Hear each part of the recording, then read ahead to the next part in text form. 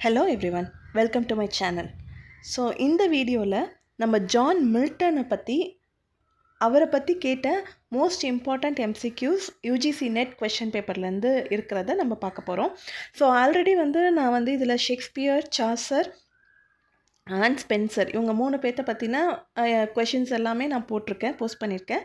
So அது உங்களுக்கு பார்க்கணும் அப்படின்னா ப்ளேலிஸ்ட்டில் வந்து அசிஸ்டன்ட் ப்ரொஃபஸர் டிஎன் செட் அப்படின்ற ஒரு இதில் இருக்கும். அதில் போய் நீங்கள் செலக்ட் பண்ணி பார்த்துக்கலாம். ஸோ இந்த மாதிரி நிறைய கொஷின்ஸ் எல்லாமே வந்து நான் அப்லோட் பண்ணிகிட்டே இருக்கேன்.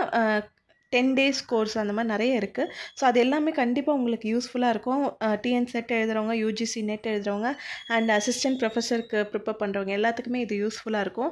அண்ட் மோர் ஓவர் பார்த்திங்கன்னா இது எல்லாமே வந்து பிஜிடிஆர்பி படிக்கிறவங்களுக்கும் யூஜிடிஆர்பி படிக்கிறவங்க எல்லாத்துக்குமே வந்து இந்த கொஷின்ஸ் வந்து யூஸ்ஃபுல்லாக இருக்கும். ஏன்னா நான் ஒரு ஒரு கொஷினுமே வந்து ஆன்சர் கூட உங்களுக்கு எக்ஸ்பிளைனும் பண்ணி தான் இதை போட்டிருக்கேன். ஸோ இந்த வீடியோஸ் எல்லாமே உங்களுக்கு யூஸ்ஃபுல்லாக இருக்கும்னு நினைக்கிறேன். ஸோ அப்படி யூஸ்ஃபுல்லாக இருந்ததுன்னா please like share and subscribe so வாங்க வீடியோக்குள்ளே போகலாம் so first question which of the following poems did Milton write in octosyllabic couplets so இந்த போம்ஸில் வந்து அவர் ஆக்டோசிலபிக் கப்லெட்ஸில் வந்து எது எழுதியிருக்காரு? ஸோ இங்கே இருக்கிற போம்ஸ் எல்லாமே பார்த்தீங்கன்னா மில்டனோட போம் தான். பட் பர்டிகுலராக ஆக்டோசிலபிக் கப்லெட்ஸில் வந்து ரெண்டு போம்ஸ் எழுதியிருப்பார். ஸோ அது ரெண்டுமே வந்து சீக்வன்ஸ் போம் அப்படின்னு சொல்லி சொல்லுவோம். ஒரே மாதிரியே அட் அ டைமில் பப்ளிஷ் பண்ண போம் ஸோ அந்த போம் என்னன்னு பார்த்தீங்கன்னா இல் பென்சரோசோ ஸோ இதனுடைய கம்பேனியன் போம் அப்படின்னு சொல்லிட்டு இன்னொன்று சொல்லுவாங்க. ஸோ இதை வந்து ஒரு மெலன்கலிக் போம் அப்படின்னு சொல்லி சொல் சொல்லுவாங்க. அதனுடைய கம்பேனியன் போம் வந்து ஹாப்பி போம் அப்படின்னு சொல்லி சொல்லுவாங்க. ஸோ அதை பற்றின ஒரு கொஷினும் பின்னாடி இருக்குது அதுக்கு முன்னாடி உங்களுக்கு தெரிஞ்சதுன்னா கமெண்ட்ஸில் சொல்லுங்கள் next question the phrase bottomless perdition occurs in Milton's Paradise Lost in so எந்த புக்கில் வந்து அது அந்த வேர்டு வந்திருக்கு அப்படின்னு சொல்லிட்டு கேட்குறாங்க ஸோ இந்த பாட்டம்லெஸ் பெடிஷன் அப்படின்னு பார்த்தீங்கனாலே உங்களுக்கு எதுன்னு தெரியும். அது வந்து ஹெல்ல தான் வந்து டினோட் பண்ணுது. ஸோ அது என்ன அப்படின்னு பார்த்தீங்கன்னா புக் ஒனில் ஸோ இந்த ஃப்ரேஸ் வந்து எதில் இருக்குன்னா book one line forty forty seven அந்த லைனில் வந்து இந்த ஃப்ரேஸ் இருக்குது so next question which of the following is in correct chronological Sen sequence so இதில் பார்த்தீங்கன்னா நாலு ஒர்க் கொடுத்துருக்காங்க. இந்த நாலு ஒர்க்குமே வந்து பார்த்திங்கன்னா எலிஜிஸ் ஸோ ஆனால் டிஃப்ரெண்ட் டிஃப்ரெண்ட் ரைட்டர்ஸ் எழுதின எலிஜிஸ் இதில் மில்டன் எழுதின எலிஜின்னு பார்த்தீங்கன்னா லிசிடஸ். ஸோ இது வந்து நாலு கொடுத்துருக்காங்க. Lycidas Memoriam and Adonais and elegy written in the country churchyard so இந்த நாலுத்தினுடைய ஆத்தரும் தெரிஞ்சதுனாலே உங்களுக்கு ஈஸியாக இதை வந்து நீங்கள் மேட்ச் பண்ணிடலாம். ஸோ இது எல்லாமே எலிஜி அப்படின்றத ஞாபகம் வச்சுக்கோங்க. ஸோ ஃபர்ஸ்ட் வந்து லிசிடஸ் இது வந்து மில்டன் எழுந்தது and elegy written in a country churchyard இது வந்து கிரே எழுந்தது அடோனஸ் அடோனஸ் வந்து ஷெல்லி வந்து கீட்ஸ்க்காக எழுந்தது இன் மெமோரியம் இது வந்து டென்னிசன் எழுந்தது ஸோ இந்த ஆர்டரில் வரது தான் கரெக்டான sequence so it is the Lycidas and elegy written in a country churchyard Adonais in memoriam so next இது பார்த்தீங்கன்னா இது வந்து எந்தெந்த இயரில் வந்து எழுதியிருக்காங்க அப்படின்ற மாதிரி கொடுத்துருக்கேன் ஸோ இது கூடவே நீங்கள் யாருக்கு வந்து இது டெடிகேட் பண்ணியிருக்காங்க அப்படின்றது சொல்லி தெரிஞ்சதுன்னா உங்களுக்கு கமெண்ட்டில் போடுங்க. ஸோ லிசிடஸ் வந்து எட்வர்ட் கிங் அப்படின்ற ஒரு பர்சனுக்காக கொடு எழுதியிருப்பார் டெடிகேட் பண்ணியிருப்பார். இதே வந்து கிரேவோட எலிஜி பார்த்தீங்கன்னா ஸோ அது வந்து காமனாக ஒரு பர்டிகுலர் பர்சனுக்காக இருக்காது. அது காமனாக எல்லா பீப்புளுக்காகவும் இருக்கும். நெக்ஸ்ட்டு ஷெல்லியோட அடோனஸ் நம்ம ஆல்ரெடி பார்த்த மாதிரி கீட்ஸ்க்கானது ஸோ டெனிசனோட இன் மெமோரியம் யாருக்குன்னு தெரிஞ்சதுன்னா கமெண்ட்டில் போடுங்க. ஸோ இதில் இதை பற்றின கொஷின் வந்து பின்னாடியும் வரும். ஸோ இதில் வந்து ஒரு ட்விஸ்ட் இருக்குது அது என்னென்னு அந்த கொஷின் பார்க்குறப்ப சொல்கிறேன் next it appears that in Paradise Lost book one Milton belongs to the devil's party without knowing as knowing it so இதை வந்து மில்டனை பற்றி இந்த ஒரு சென்டென்ஸ் வந்து ஒரு ஃபேமஸான ரைட்டர் கொடுத்துருக்காங்க. Milton belongs to the devil's party so டெவிலோட சேர்ந்தவங்க அப்படின்ற மாதிரி சொல்லியிருக்காங்க. அதை யாரை சொன்னாங்க அப்படின்னு பார்த்தீங்கன்னா it is William Blake so இதில் என்ன பார்த்தீங்கன்னா வில்லியம் பிளேக் வந்து ஒரு ஆர்டிஸ்ட் அவர் வந்து வரைஞ்சி இந்த பேரடைஸ் லாஸ்ட்டை பற்றிலாம் வந்து நிறைய வரைஞ்சிருக்காரு. அந்த இதெல்லாம் நிறைய வரைஞ்சி அந்த பிக்சர்ஸ்லாமே நிறையா வந்து பேரடைஸ் லாஸ்ட்டை வந்து பப்ளிஷ் பண்ணும்போது யூஸ் பண்ணியிருக்காங்க நெக்ஸ்ட் அதுக்கடுத்து வர எடிஷன்ஸ் எல்லாத்துலேயுமே. Next match the following elegies with the persons for whom they are they were written so நான் ஆல்ரெடி சொன்ன மாதிரி நாலு எலிஜிஸ் இது நாலுமே எலிஜி இதில் வந்து இதுக்கு சேர்க்கல. கிரேவோட கண்ட்ரி சர்ச்சர் வந்து சேர்க்கல. ஸோ ஏன்னா அது வந்து எல்லா ஹோலாக பீப்புளுக்கு வந்து டெடிகேட் பண்ணது. ஸோ இது வந்து பார்த்திங்கன்னா இதில் தைரிசிஸ் அப்படின்றதையும் ஆட் பண்ணியிருக்காங்க ஸோ அது யார் யாருக்கு அப்படின்றது நம்ம இப்போ பார்க்கலாம் ஸோ லிசிடஸ் வந்து ஆல்ரெடி சொன்ன மாதிரி எட்வர்ட் கிங் அடோனஸ் வந்து கீட்ஸ்க்காக டெடிகேட் பண்ணுது. இன் மெமோரியம் வந்து A H Hallam and Thyrsis வந்து ஆர்த்தூர் ஹக்லா. ஸோ தைரசிஸ் வந்து அர்னால்டு எழுதின ஒரு எலிஜி ஸோ இது வந்து பார்த்திங்கன்னா ஒன்னுக்கு வந்து சிக்ஸ் த்ரீக்கு வந்து அடோனஸ்க்கு வந்து கீட்ஸ் இன் மெமோரியம் வந்து ஏஹெச் ஹலம் தைரசஸ் வந்து ஆர்த்தூர் ஹியூ ஹியூக்லா ஸோ இதில் பார்த்தீங்கன்னா இன் மெமோரியம் தைரசிஸ் ரெண்டுமே வந்துட்டு பார்த்தீங்கன்னா A H A H Arthur Hugh A H Hallam அப்படின்ற மாதிரி தான் இருக்கும். ஸோ இதுக்கு வந்து ஒரு க்ளூ மாதிரி வச்சு நீங்கள் ஞாபகம் வச்சுக்கோங்க. இன் மெமோரியம் வந்து டென்னிஸ் வந்து தைரசிஸ் வந்து அர்னால்டுது ஸோ இதை வந்து ஒரு க்ளூ மாதிரி வச்சு நீங்கள் ஞாபகம் வச்சுக்கோங்க. Next what is L'Allegro's companion piece called so நம்ம ஃபஸ்ட் கொஷினில் பார்த்தோம் இல்லைங்களா? நம்ம இல் பென்சரோசோ அப்படின்றதுக்கு ஒரு கம்பானியன் போம் இருக்குது அப்படின்றது.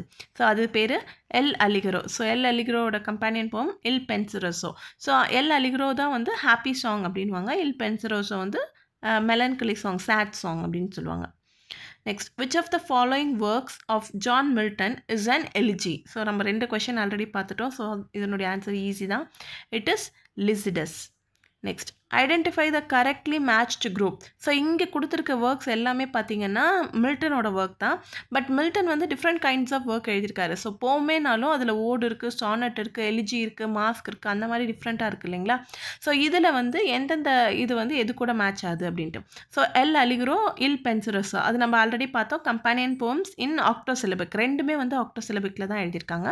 ஸோ லிசிடஸ் வந்து பாஸ்டரல் எலிஜி காமர்ஸ் வந்து மாஸ்க் ஆன் ஹிஸ் பிளைண்ட்னஸ் வந்து சானட் ஏரப்பாகிட்டா கிட்டிகா இது வந்து பார்த்திங்கன்னா ஒரு ப்ரோஸ்ட்ராக்ட் இதை வந்து சிக்ஸ்டீன் சிக்ஸ்டியில் வந்து பப்ளிஷ் பண்ணியிருப்பாரு எதுக்காக அப்படின்னு பார்த்தீங்கன்னா பிரிண்டிங் ப்ரெஸ்ஸோட ஃப்ரீடம்காக லிபர்ட்டிக்காக இதை வந்து பப்ளிஷ் பண்ணியிருப்பார் அண்ட் ஒன் மோர் திங் வந்து பார்த்தீங்கன்னா அவர் என்ன சொல்லியிருப்பார் அப்படின்னா மில்டனே என்ன சொல்லியிருப்பாருன்னா அவர் வந்து நான் என்னோடய ப்ரோஸ் எல்லாம் வந்து லெஃப்ட் ஹேண்டில் எழுதியிருக்கேன் அப்படின்ற மாதிரி ஒரு கமெண்ட் வந்து சொல்லியிருப்பார் ஸோ இது வந்து இயர்லாம் கொடுத்துருக்கு. நீ பார்த்துக்கோங்க ஸோ இல் எல் அலிக்ரோ அனில் பென்சரோஸோ ரெண்டுமே சிக்ஸ்டீன் ஃபார்ட்டி ஃபைவ்ல பப்ளிஷ் பண்ணுது.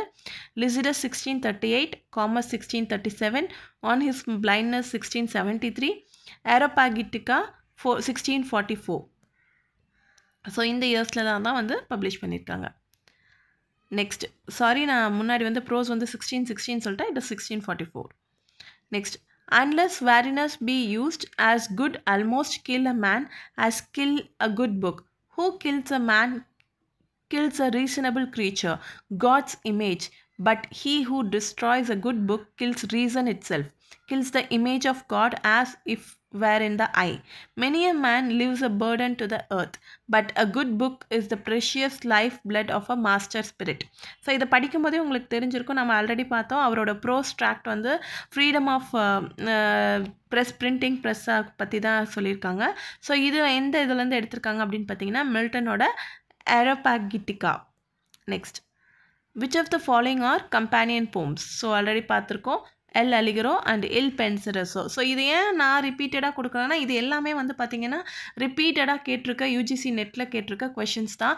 எப்படி டிஃப்ரெண்ட் டிஃப்ரெண்ட்டாக ஒரே கொஷின்ஸே கேட்டிருக்காங்கன்னு பார்த்துக்கோங்க ஸோ நீங்கள் இதெல்லாமே ஒரு ஞாபகம் வச்சுக்கிட்டீங்க. அது ரிலேட்டடாக நீங்கள் ஞாபகம் வச்சுக்கிட்டீங்க அப்படின்னாலே உங்களால் minimum fifty percentage of questions வந்து ஆன்சர் பண்ணிட முடியும். Next in Paradise Lost Milton invokes his heavenly muse Urania at the beginning of so எந்த புக்கில் வந்து இன்ட்ரடியூஸ் பண்ணியிருக்காரு ஸோ மில்டன் வந்து பார்த்திங்கன்னா ரெண்டு புக்கில் வந்து யுரேனியாவை இன்ட்ரடியூஸ் பண்ணியிருப்பாரு ஸோ அது என்ன பார்த்தீங்கன்னா book one and book seven next Milton introduces Satan and the fallen angels in the book one of Paradise Lost two of the chief devils reappear in book two they are so ரெண்டு chief devils இருந்து இந்த புக்கில் வருவாங்க. ரெண்டு second புக்லேயும் வருவாங்க. So இது பார்த்தீங்கன்னா first எடுத்ததுமே வந்து சாட்டன் வந்து காட் வந்து ஹெவன்லேருந்து ஹெல்லுக்கு தூக்கி போட்ட மாதிரி தான் ஸ்டார்ட் ஆகும்.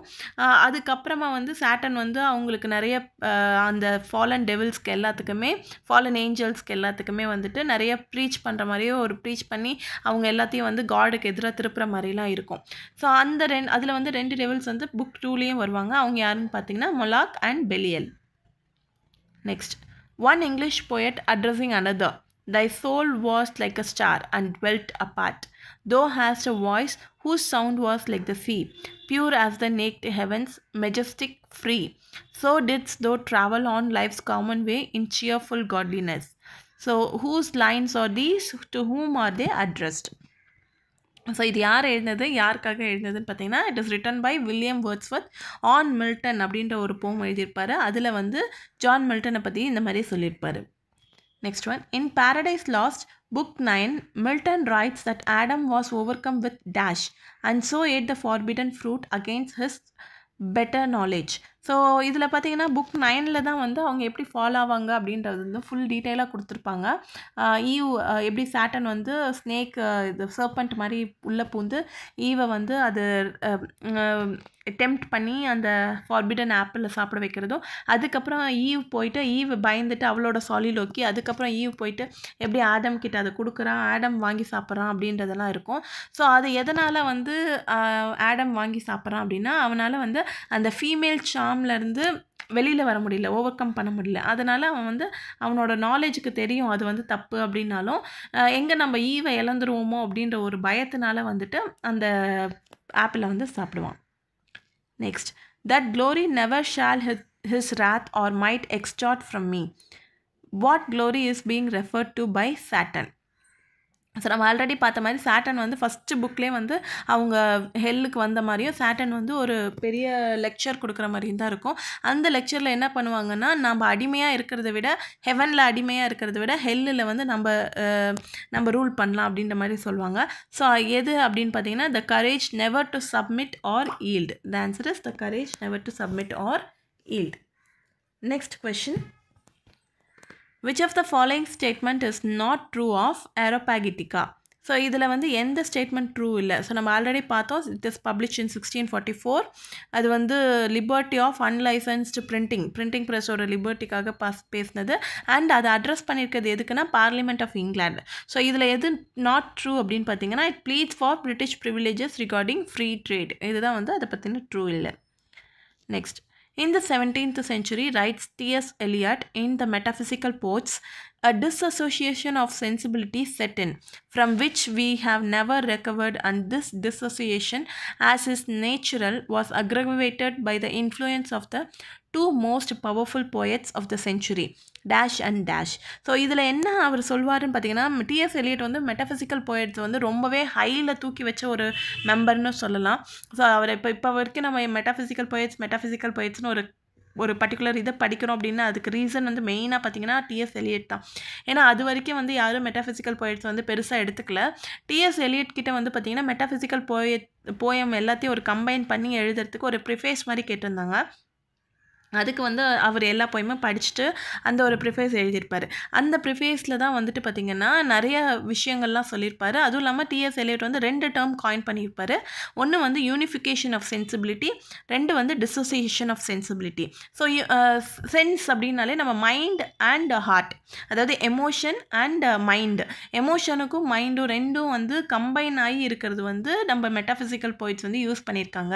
அதான் வந்து யூனிஃபிகேஷன் ஆஃப் சென்சிபிலிட்டி ரெண்டு சென்ஸ் மைண்டும் uh, எமோஷனும் ரெண்டுத்தையும் ஹார்ட் மைண்ட் அண்ட் ஹார்ட் அதாவது மைண்ட் அண்ட் எமோஷன் இது ரெண்டுத்தையுமே கம்பைன் பண்ணி அவங்க எழுதியிருக்காங்க அவங்களோட போயம்ஸில் பட் அது ஏன் அதுக்கப்புறம் டெவலப் ஆகலை அப்படின்னு பார்த்தீங்கன்னா அதுக்கப்புறம் வந்து ஒரு ரெண்டு பெரிய போயட்ஸ் வந்து டிசோசியேஷன் டிசோசியேஷன் ஆஃப் சென்சிபிலிட்டி அதாவது ரெண்டுத்தையும் பிரிச்சுட்டாங்க. மைண்டு வேறு தாட் எமோஷன்ஸ் வேறன்னு பிரிச்சுட்டாங்க. அவங்க அதனால தான் வந்து அதுக்கப்புறம் மெட்டாஃபிசிக்கல் போயட்ஸ் வந்து பெருசாக வெளியில் தெரியல அப்படின்ற மாதிரி சொல்லியிருப்பாரு. அந்த ரெண்டு போயட் யார் அப்படின்னு பார்த்தீங்கன்னா John Milton and John Dryden so இவங்கெல்லாம் பார்த்தீங்கன்னா ஒன்று தாட்டுக்கு இம்பார்ட்டன்ஸ் கொடுத்து எழுதியிருப்பாங்க ஒரு சில போமில் இல்லை ஒரு சில போம்ஸில் வந்து எமோஷன்ஸ்க்கு இம்பார்ட்டன்ஸ் கொடுத்து எழுதியிருப்பாங்க. பட் மெட்டாஃபிசிக்கல் போம்ஸில் பார்த்தீங்கன்னா தாட்டும் இருக்கும் எமோஷன்ஸும் இருக்கும். ரெண்டுமே இருக்கும். ஸ்பிரிச்சுவல் அண்ட் லவ் தீம் ரெண்டுமே கம்பைன் பண்ணியிருக்கிற மாதிரி தாட்டும் இருக்கும் எமோஷன்ஸும் இருக்கும். Next one the opening sixteen lines of Paradise Lost comprise so எத்தனை லைன் அதில் இருக்குது ஃபஸ்ட்டு சிக்ஸ்டீன் லைன்ஸ் இருக்க அந்த ஸ்டா ஒரு பர்டிகுலர் திங் வந்து ஒரே ஒரு ஸ்டான்ஸாக தான். ஒரே லாஸ்ட் ஒரே ஒரு இதில் மட்டும்தான் ஃபுல் ஸ்டாப் இருக்கும். ஸோ ஃபஸ்ட்டு சிக்ஸ்டீன் லைன்ஸ் வந்து ஒரு சென்டென்ஸாக எழுதியிருப்பார். Next In Paradise Lost, Milton presents the action of the fall of man in two stages in books. ரெண்டு ஸ்டேஜஸில் வந்து இது புக்கில் வந்து சொல்லியிருப்பாரு. அது எப்படி ரெண்டு ஸ்டேஜஸ்னு பார்த்தீங்கன்னா பாரடைஸ் லாஸ்ட் வந்து எப் அந்த புக்கில் வந்து ஃபாஸ்ட்டு ஃபஸ்ட்டு இனிஷியல்லேருந்து என்னென்னலாம் நடந்ததுன்ற மாதிரி கொடுக்கல. ஃபஸ்ட்டு வந்து காட் வந்து சாட்டன் அவங்க அந்த ஏஞ்சல்ஸ் எல்லாத்தையும் ஒரு சில குரூப் ஆஃப் ஏஞ்சல்ஸ் எல்லாத்தையும் ஹெல்லுக்கு தள்ளிட்டாங்க அப்படின்ற மாதிரி இருக்கும். அப்புறம் சாட்டன் வந்து அவங்களுக்கு அகேன்ஸ்டாக எப்படி வராங்க? அதுக்கப்புறம் என்ன அது ஃபால் மேன் மேனோட ஃபால் நடந்தது. அதுக்கப்புறம் அது டீட்டெயிலாக அந்த மாதிரி தான் ஒரு ஃப்ளாஷ்பேக் போய் போய் வர மாதிரி தான் இருக்கும். ஸோ இந்த இடத்துல வந்து ஃபால் ஆஃப் மேனை வந்து ரெண்டு இடத்துல சொல்லியிருப்பாரு. அது எந்தெந்த புக் அப்படின்னு பார்த்தீங்கன்னா book four and book nine book nine நமக்கு ஆல்ரெடி தெரியும். நமக்கு நிறைய ப்ரிஸ்கிரைப் பண்ணியிருப்பாங்க. அதில் தான் வந்து ஆப்பிள் சாப்பிட்டதெல்லாம் இருக்கும். புக் ஃபோர்லேயும் வந்து சொல்லியிருப்பாங்க இதை பற்றி next where there is leisure for fiction there is little grief was Samuel Johnson's criticism of a famous poem which poem was it so எந்த போம் பற்றி எழுதியிருப்பாரு? ஸோ நம்ம பார்த்த மாதிரியே தெரியும். ஏன்னா நம்ம பார்த்துட்டு இருக்கிறது மில்டனோட மில்டனை பற்றி தான் so it is Milton's Lycidas. So Samuel ஜான்சனை பற்றி ஒரு இம்பார்ட்டண்ட்டான ஒர்க் திங் என்னென்னா அவர் வந்து நிறைய வந்து கிரிட்டிசிசம்க்கு வந்து நிறைய ஹெல்ப் பண்ணியிருக்காரு. ஸோ அதில் பார்த்தீங்கன்னா மெயினானது வந்து லைவ்ஸ் ஆஃப் த போயட்ஸ் இதில் வந்து ஃபிஃப்டி டூ போயட்ஸை பற்றி அவர் நிறைய சொல்லியிருப்பார். பயோகிராஃபி மாதிரி கொடுத்துருப்பாரு. அதில் மில்டனை மட்டும் வந்து கிரேவை ரொம்ப ப்ரைஸ் பண்ணியிருப்பாரு. மில்டனை வந்து கொஞ்சம் அவர் எழுதினது கொஞ்சம் சரியில்லை அப்படின்ற மாதிரி சொல்லியிருப்பார். ஸோ அது மட்டும் தெரிஞ்சுக்கோங்க. next what is the name of the angel who of those who owed allegiance to Saturn dared to protest against his impious doctrine doctrine and left his company to return to God so ஒரு angel fallen angel வந்து பார்த்தீங்கன்னா satin கூட இருந்து கொஞ்ச நாள் இருக்கும் அதுக்கப்புறமா வந்து சாட்டனை விட்டுட்டு காட் கூடயே போய் திருப்பி போயிடும் அந்த ஏஞ்சல் யாருன்னு பார்த்தீங்கன்னா ஆப்டியல் The famous sonnet of John Milton beginning When I consider how my light is spent ends with. So இந்த போம் வந்து இந்த லைன் வந்து எதில் வருது அப்படின்னு பார்த்தீங்கன்னா மை லைட் ஸ்பென் ஸ்பெண்ட் அப்படின்னு வரும்போது தெரியும். அவருக்கு வந்து பின்னாடி ஒரு பர்டிகுலர் ஏஜுக்கு அப்புறமா கண்ணு தெரியாமல் போயிடும். ஸோ அது வந்து ஆன் ஹிஸ் பிளைண்ட்னஸ் அப்படின்ற மாதிரி எழுதியிருப்பாரு. ஸோ அந்த போமில் வர லைன் தான் இது. ஸோ அந்த போம் எப்படி எண்ட் ஆயிருக்குன்னு பார்த்தீங்கன்னா they also serve who only stand and wait அந்த மாதிரி அந்த லைனோட தான் எண்ட் ஆயிருக்கும். Next John Milton's description of gold as a precious bane is best described as so precious bane bane அப்படின்னு பார்த்தீங்கன்னா ஒரு டெத் இல்லை பாய்சன் அந்த மாதிரி ஒரு மீனிங்கில் வரும் so precious bane precious death அப்படின்ற மாதிரி வந்தாலே உங்களுக்கு தெரியும் it is an oxymoron next who is the only one of Milton's contemporaries to be mentioned by name in Paradise Lost ஒரே ஒருத்தரை பற்றி தான் வந்து மில்டன் வந்து பேரடைஸ் லாஸ்ட்டில் வந்து இன்ட்ரடியூஸ் பண்ணியிருப்பார் அது யார் அப்படின்னு பார்த்தீங்கன்னா ரொம்ப ஃபேமஸான ஒரு சயின்டிஸ்ட் இன்வென்ட் இன்வென்ட் பண்ணவர் நிறையா so it is Galileo next in which work does William Blake say that Milton was a true poet and of devil's party without knowing it? So நம்ம ஆல்ரெடி பார்த்தது வந்து பார்த்திங்கன்னா இந்த லைனை யார் சொன்னாங்க அப்படின்னா வில்லியம் பிளேக் அப்படின்னு பார்த்தோம். ஸோ அது எந்த ஒர்க்கில் வில்லியம் பிளேக் சொல்லியிருக்காரு அப்படின்னு பார்த்தீங்கன்னா the marriage of heaven and hell இந்த ஒர்க்கில் தான் சொல்லியிருக்காங்க. ஸோ இது எல்லாமே வந்து பார்த்திங்கன்னா நெட்டோட ப்ரீவியஸ் இயர் கொஷின் பேப்பர்லேருந்து வந்தது தான். Next From whose work did John Milton take the to his Areopagitica so யாரோட ஒர்க்லேருந்து எப்பிகிராஃப் எடுத்திருக்காரு அப்படின்னு பார்த்தீங்கன்னா Euripides next who was Milton's model when he recast the first edition of Paradise Lost in ten books to twelve books of the second edition so first வந்து பார்த்தீங்கன்னா Milton வந்து Paradise Lost வந்து ten புக்ஸில் தான் publish பண்ணியிருப்பாரு sixteen sixty செவனில் அதுக்கப்புறமா வந்து அதை ஒரு எப்பிக்காக நம்ம மாற்றணும் அப்படின்னு நினச்சிட்டு அது வந்து டுவெல் புக்ஸாக கன்வெர்ட் பண்ணியிருப்பார். ஸோ ஒருத்தர் தான் வந்து இந்த எப்பிக்கு வந்து டுவெல் புக்ஸில் இருக்கணும் அப்படின்ற மாதிரி ஒரு ரூல் மாதிரி செட் பண்ணி வச்சுருப்பாரு. அந்த மாடல் அவரோட மாடல் அவர் வந்து ஆல்ரெடி அவரும் வந்து ஆல்ரெடி ஒரு எப்பிக் எழுதியிருக்காரு. அந்த எப்பிக்கை பேஸ் பண்ணி தான் இவரும் வந்து டுவெல் புக்காக பிரிப்பார்.